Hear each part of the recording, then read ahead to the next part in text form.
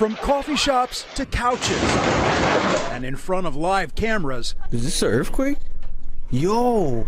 Millions near New York City were unsettled yesterday by a rare East Coast earthquake. We saw the buildings moving and everything, though. It was kind of scary. At Yankee Stadium, center field bounced during batting practice, and the Statue of Liberty rattled. This is one of the largest earthquakes on the East Coast to occur in the last century. The quake hit at 10:23 in the morning and was felt throughout the region, from Boston to Philadelphia. You feel that? Officials issued a temporary ground stop at several airports and began checking infrastructure for damage.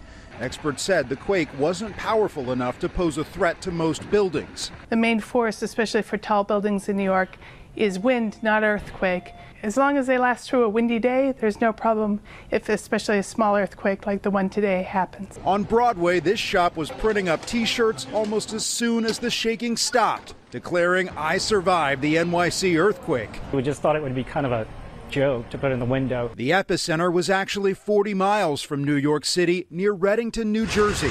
The quake damaged a historic site dating back to the Revolutionary War. In Newark, New Jersey, a handful of homes were evacuated due to structural damage. The USGS says there's a risk of small aftershocks for up to a week. Bradley Blackburn, CBS News, New York.